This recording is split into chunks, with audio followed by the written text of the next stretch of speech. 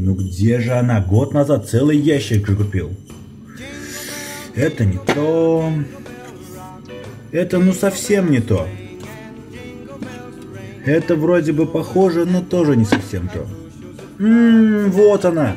Представляете, каждый год оказывается в холодильнике, но не чудо ли, а? И, кстати, раз уж вы тут, то пойдемте к елочке. Негоже вас все-таки в холодильнике поздравлять.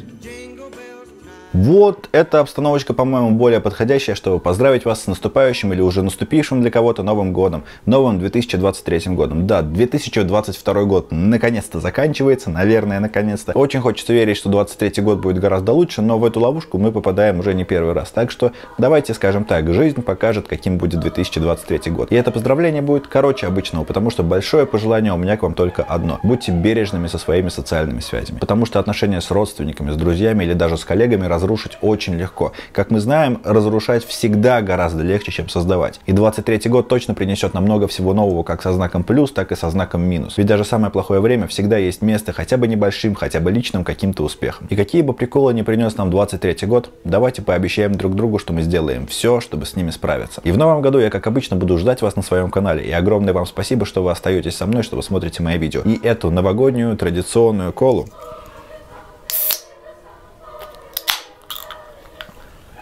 я поднимаю за вас. Давайте справимся с этим 2023 Новым годом. Как всегда, самая вкусная кола в году. Спасибо, что посмотрели. До встречи на канале и еще раз с Новым годом.